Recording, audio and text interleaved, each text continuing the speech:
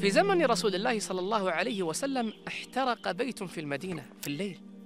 فلما أصبح النبي صلى الله عليه وسلم جاءوا إليه فأخبروه أن هناك بيت احترق.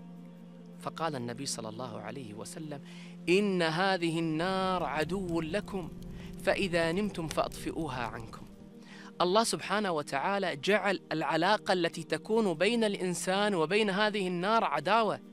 ولذلك لما ذكرها الله عز وجل في القرآن ماذا قال؟ قال نحن جعلناها تذكرة ومتاعا للمقوين.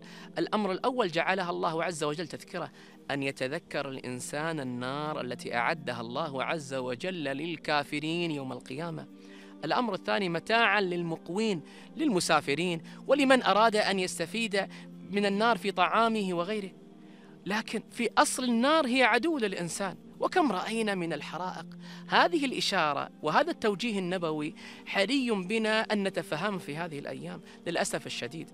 اليوم بعضهم من يأخذ النار على أساس أنها والله لعبة فيبدأ يضع النار ثم بعد ذلك إما أنه يقوم فيتركها وإما أنه ينام من باب أنه يتدفى.